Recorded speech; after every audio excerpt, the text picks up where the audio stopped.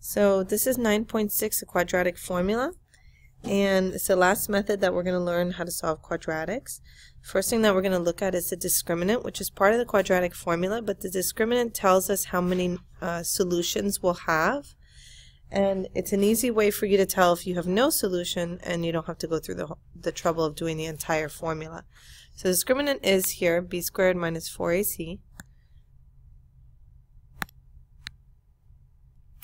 And if you plug into b squared minus 4ac and you end up with a positive number, you know that you have two solutions. If you plug in and you end up with a zero, you know that you have one solution. And if you plug in and, and end up with a negative number, you know you have no solution or zero solutions. Okay, at the bottom you'll see how this looks like graphically. Remember when we have two solutions, we have two x-intercepts. So this is if it was going down, here's one if it was going up. If you have one solution, you have one x-intercept, going up, going down. And here, if you have no solutions, you have no x-intercepts, it'll never touch the x-axis. Okay, so using the discriminant, we're going to figure out how many solutions some of these have. So if you look at the first one, A is 1, sorry, B is 7, C is 8, and if we plug in we have 7 squared minus 4 times a times c, which gives us 49 minus 32. And this is going to give me a positive number. So I know that this one is going to have two solutions. Go ahead and try the next three. Okay, so here are your answers. You see the first one has two solutions, the next one has no solution because it was a negative number, and the last one has two solutions. So here are all the methods that we've gone over. We went over graphing, which you're going to use if you, really only if you have a graphing calculator. This is not something that you're going to use a lot in Algebra 1 because it's a little more tedious, especially if the numbers are very small or very large. Square roots, you're going to use if you have no b, no x term. Factoring is going to be the one that you'll probably use the most, especially if you can factor it easily. Completing the square you will also use pretty often, but you don't want to use completing the square if you can't easily get a to 1 and if the b is not even. But you, do, you can do it with fractions, but it'd be simpler if it wasn't.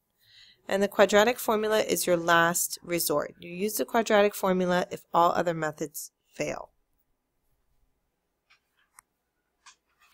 So let's look at the quadratic formula. Here's the quadratic formula. x equals negative b plus or minus the square root of b squared minus 4ac over 2a. Yes, you need to memorize that. There are different ways that you can memorize that. Some people use acronyms. Um, one of the more popular ones is a negative boy couldn't decide whether or not to go to the radical party.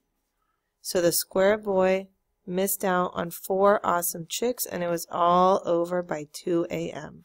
Or you can just memorize the letters, whatever you prefer. Okay, so let's look at this problem. The first thing we want to do is figure out what our A, B, and C is, but the only way that we can do that is if it's equal to 0. So I'm going to add the 2 to the other side. So now I have everything equal to 0, and I can go ahead and figure out my a, b, and c. So my a is negative 1, my b is negative 4, and my c is 2. I'm going to plug it into the quadratic formula, but notice here, this is the discriminant that we were looking at before. So I'm going to do that first, the discriminant, because then I know if it has no solution. So negative 4 squared minus 4 times a times c which gives me 16 plus 8, and that's 24. So I know that that's going to be two solutions, and that's going to go under my radical. So here we go. x equals negative b plus or minus the square root of b squared minus 4ac, which I just did here. So 24 all over 2 times a negative 1. So now I have x equals, this becomes a positive 4, plus or minus the square root of 24, over negative 2. Square root of 24 I can break down, right? So I'll just do that over here. 24, 4 and 6, 2 and 2, 2 and 3. So I have a pair of 2's that comes out. So x equals 4 plus or minus the 2 that came out and the 6 that stays on the inside all over negative 2. So now I'm going to have two answers from this, right? Because I have a plus or a minus here. So it's going to be x equals 4 plus 2 root 6 over negative 2 and x equals 4 minus 2, oops, 2 root 6 over negative 2. And then we're going to have to reduce. So let me show you how to do that. So since we split them up into two problems, right, one with a plus, one with a minus, we now have to reduce. So what we're going to do is we're going to factor out a GCF. And notice here on the top that they're both divisible by 2. So I'm going to factor out a 2.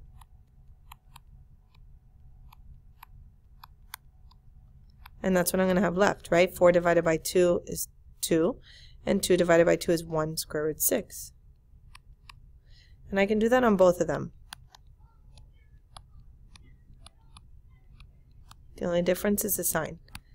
And the reason I want to do that is because now I can reduce. I couldn't reduce before because I have three numbers.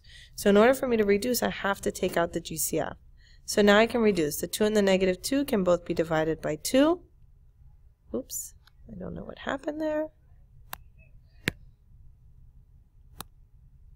And again here, they can both be divided by 2. So I'm left with, I would have a negative 1 on the bottom, but in order to not have a negative on the bottom, I'll just push it up. And I have a negative, parentheses, 2 plus root 6. And x equals negative, parentheses, 2 minus root 6.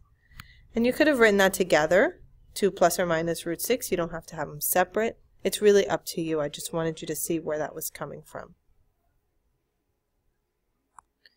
Okay, so why don't you go ahead and try this one, number one. Plug into the quadratic formula. Remember to check the discriminant because if it's a no solution, then you don't have to keep going. And check. we'll check the answers in a few seconds. Okay, so check your answer. And notice that as you go down,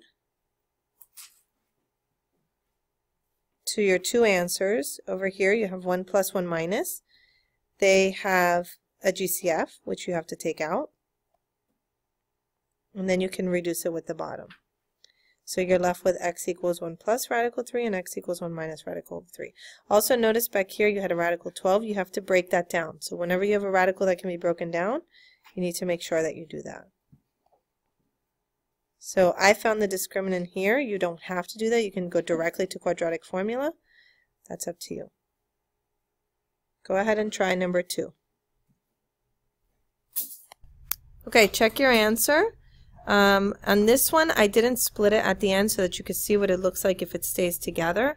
I did take out a GCF and I reduced with the bottom, but I left it together since I can't actually solve it because there's a radical 10 and it's negative 5 plus or minus 2 square root radical 10 over 3. That's okay. It's the same as if you had split it and done one with a plus and one with a minus. So make sure you go back and look at the notes if you don't understand and come in with questions tomorrow. Bye from period 3!